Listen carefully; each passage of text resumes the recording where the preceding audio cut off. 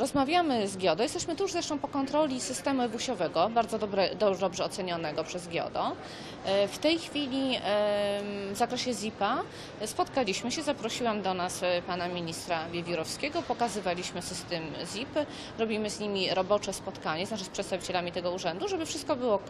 Był taki moment, że myślę, że w opinii takiej publicznej, medialnej pomyliły, znaczy zbiły się trzy rzeczy. EWUŚ, ZIP i karta do tego wszystkiego. To są trzy różne rzeczy. EWUŚ bazuje na Centralnym Wykazie Ubezpieczonych i to jest dostęp, tak? to jest taki podsystem, e, w którym sprawdza się uprawnienie. ZIP to jest dostęp do innych danych, tam będzie informacja o uprawnieniu, ale tam są informacje o świadczeniach, w sensie gdzie ktoś jest zapisany, jakie świadczenia miał udzielone i za ile. Zresztą no, nie chcę tutaj szeroko omawiać, macie Państwo już to prze- przedstawione, co będzie w tym ZIP-ie. To jest odrębny system i e, w tej chwili e, przedstawiamy swoje pomysły do GIODO. I mm, reakcja jest jak najbardziej pozytywna, ale oczywiście na koniec, kiedy już wszystko y, przedstawimy, także zrobimy z nimi, e, z urzędnikami tego urzędu studyjne spotkanie na, na ten temat.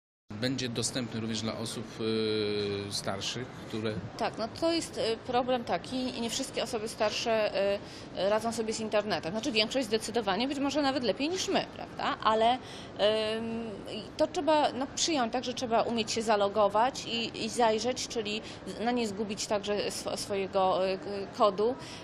Podobnie jak wejść na- na swoje konto do, do banku, to podobny mechanizm będzie. Oczywiście jak ktoś tego nie lubi lub ma problem z y, po- posługiwaniem się internetu, internetem, no to jest y, jakaś bariera, ale proszę zwrócić uwagę, że w tych czasach właściwie prawie nikt już nie ma takich problemów i oporów.